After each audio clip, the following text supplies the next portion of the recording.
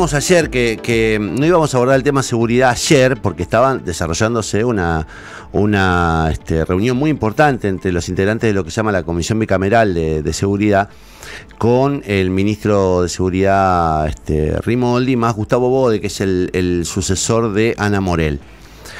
En la reunión fue convocada a los efectos de que se rindan cuentas sobre los gastos del de, eh, Ministerio de Seguridad eh, en lo que significó el 2022, pero además para proyectar el 2023, porque el gobierno insiste con la idea de que necesita una emergencia. Lleva 37 meses de gestión, de los cuales tuvo 30 emergencias y todas las estadísticas son este, peores. Pero además hoy eh, el ex ministro de Economía, Gonzalo Salione, publicó que una vez más y esto no es lo que reflejan los medios, porque los medios hablan de que el gobierno rindió cuentas de, todos los, gastos.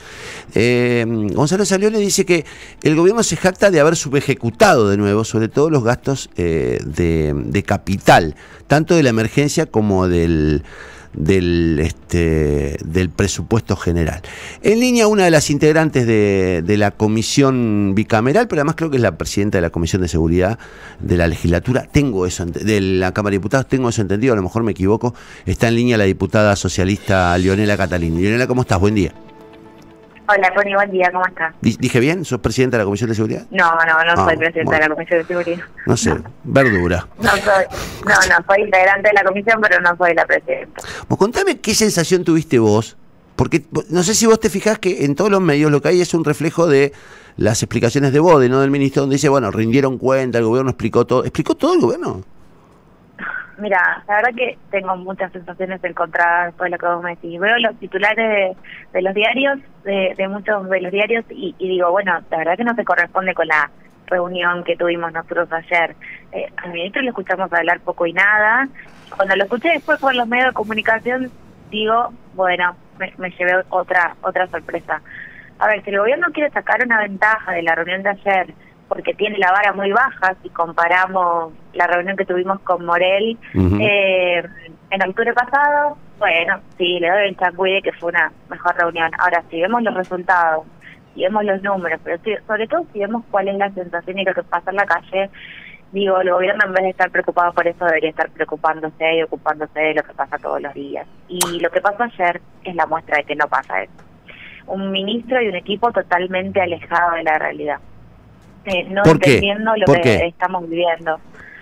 Mira, Connie, eh, yo creo que, que, el, que el tema de los chalecos antibalas es un claro ejemplo de la sí. y la burocracia del gobierno de Omar Perotti.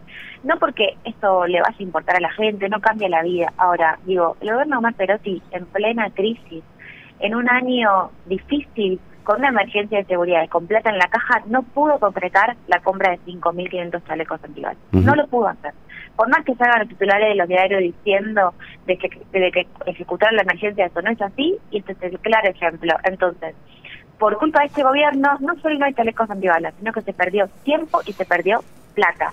Mucha plata, porque el gobierno hizo una licitación que da de baja, que ahora la empresa va a hacer juicio de la provincia y el gobierno que viene va a tener que afrontar este juicio. Y además ahora hace una contratación directa con fabricaciones militares que pagan los chalecos más caros de lo que se quiere pagar el triple, el triple.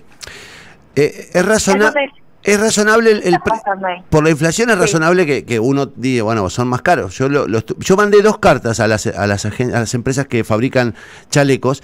Eh, hay precios más o menos son más o menos el, valor que, que, sale pero digamos por el año que perdieron por no haber renovado el permiso en el ACMAR eh, nosotros terminamos pagando el triple de lo que debimos haber pagado quién se hace cargo de eso Claro, tal nadie se cargo de eso. Como tampoco nadie se hace cargo de que vimos durante tres años al gobernador, a los ministros, al secretario Walter Galgo con mucha pauta publicitaria por todos los medios diciendo que las cárceles de la provincia estaban bien y que iban a lograr los inhibidores. Bueno, estamos en febrero del 2023 y los inhibidores no llegaron. Están en Israel todavía y dicen que para junio quizás Piñero esté inhibida. Al, al final del gobierno de Perotti. No alcanza con eso. Terminamos la reunión, sale Rimondi a dar declaraciones a la prensa a decir que ellos están trabajando bien. Eh, cuando nosotros vemos todos los días, como en Rosario, eh, estos días, digo, bailar una comisaría en bicicleta, en bicicleta a bailar una comisaría y nadie salió a perseguirlos. Ayer el ministro nos dijo que en Santa Fe hay 350 efectivos de gendarmería. 350 fue la cifra que dijo. ¿En la provincia? En la provincia de Santa En la provincia hay no saben, no saben qué cantidad de eh, prefectos y miembros de la Policía Federal Aeroportuaria. Entonces, ¿qué es lo que hay que festejar?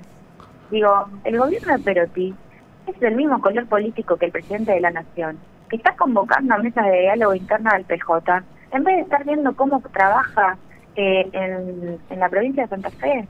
Eh, ¿Qué estamos esperando? ¿Qué más tiene que ocurrir para que Perotti Fernández se instalen en Rosario a ver cómo eh, todo lo que está pasando y todo lo que viven los rosarinos todos los días? Hoy tuvo que suspender Pablo Hapkin una actividad por, por una por un atentado. Y una balacera a un, una salud. A un centro de salud. Eh, y, y, la verdad que, que, que, la, que la comunicación del gobierno sea el gobierno explicó eh, o, o, o, reabrió el diálogo, digo, la verdad que la, la, sensación que hay, a lo mejor este, vos me lo podés corroborar o no, es que de verdad parecen paralizados en una especie de burbuja este, sin ningún tipo de referencia a lo que pasa afuera. Acá está claro que el gobierno se la pasa en campaña electoral o sea, y, y, que eso fue lo que hizo con la seguridad todo este tiempo, fuera de seguridad como un botín de guerra para la campaña, y lo sigue usando ahora. No si no, ¿cómo se explican los titulares de hoy? O cómo se explica peor aún, que el gobierno durante enero haya mandado una ley de emergencia en seguridad que tiene 11 artículos. 11 artículos incluido el último que es de forma. Eh, ese es el plan de seguridad para lo que viene del, del último año de gestión de Perotti solamente un pedido para autorizar los montos de las licitaciones públicas y privadas, porque eso es lo único que dice la ley. Entonces, creo que hay una distorsión entre lo que se comunica y lo que pasa todos los días y lo que debería ser un gobierno, que es hacerse cargo y gestionar. Y eso es lo que no estamos viendo en el transcurso de esta administración de Perotti. Eh, claro, uno, uno percibe que lo, lo, que queda es son meses, porque de verdad en junio ya va a haber candidatos, en septiembre va a haber elecciones. Uno, lo, claro, lo que presume es que lo que vendrá de acá en más es mucho más fuegos artificiales que, que, obras y políticas concretas, que además no tienen proyección. Digo, recién la ministra de, Educación hablaba que hay que seguir con las clases hasta el 22 de diciembre, pero ella no va a ser ministra cuando concluya el ciclo lectivo. Eh, y eso también complica las cosas. Han sido complicados ellos para la transición con el gobierno de Lipchi. Me imagino que la transición no va a ser fácil con este gobierno.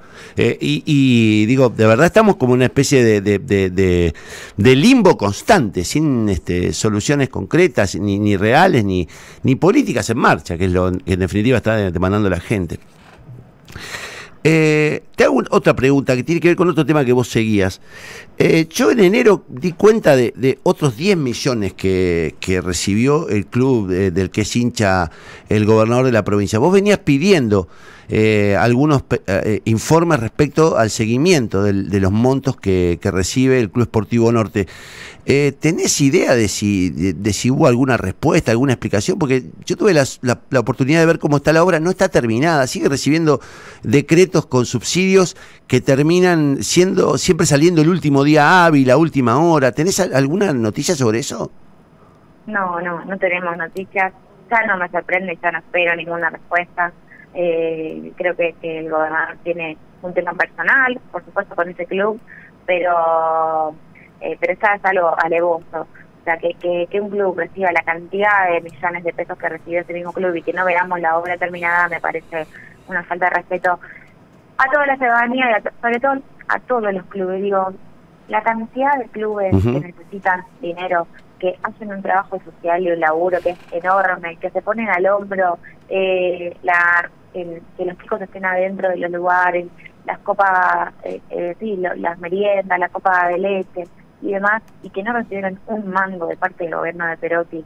Eh, entonces, eh, está terminando el gobierno, por supuesto que el gobernador no da respuesta ni rinde cuentas, eso ya no lo esperamos. Lo que sí esperamos es un gesto de un baño de humildad, eh, que, salgamos a la calle y vean que no solo eh, la provincia es lo que pasa en Rafaela o en algunas localidades, hay un montón de otras instituciones que también necesitan del apoyo del Estado provincial y que en este tiempo no lo han tenido. Nosotros hicimos un cálculo la, la, semana pasada, un informe que presentamos acá con, con Guillermo Bota. Eh, la provincia entregó 32 millones para 100 clubes, este, que más o menos representa un promedio de 320 mil pesos por club eh, desde que empezó la gestión. Eh, y Sportivo Norte solamente en 2022 recibió casi 80 millones de pesos. O sea que, que Sportivo Norte se quedó en un año con lo que reciben 228 clubes. Es una locura. Es una locura. Y además, es una locura que vos no tengas respuesta, que vos que sos legisladora, que pedís el informe, no tengas una respuesta, digamos, y que ningún funcionario lo explique. Eh, sí, exactamente. Y también es una locura que se use tantos fondos públicos como nos tiene acostumbrado este gobierno a través de transferencias. Eh, porque, digo, eh, pareciera un poco que la obra que se está haciendo en el Club Esportivo Norte responde a una necesidad del barrio más que del club. Eh, entonces, siempre ahí hay un mecanismo para evitar las licitaciones, para hacer transferencias y para no hacer obra pública, porque termina siendo una obra pública, con los mecanismos que la ley exige que son las de las y la del control estatal.